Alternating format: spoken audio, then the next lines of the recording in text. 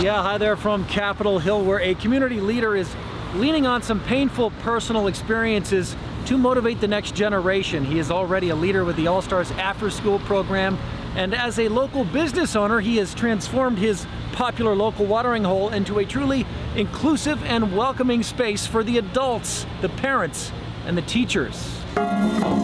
So this physical space at Poco, what I wanted to become, I want to make it purposeful, organic, captivating, optimistic. That's Poco.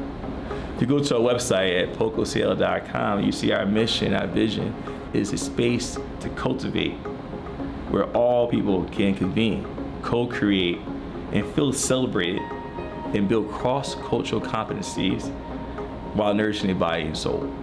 And, and so that's the mission.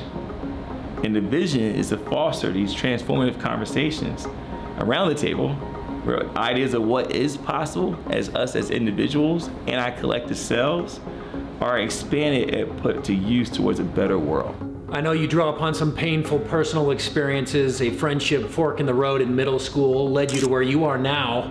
You ultimately lost that friend to drugs, and you get a chance to correct course for many kids through the After School All Star program. Yes, After School All Star is a free programming to students. I think we have over 600 students that we actually support over three schools, and very diverse. To allow them to do things around STEM or STEAM, you know, you know, science, technology, engineering, arts, and math.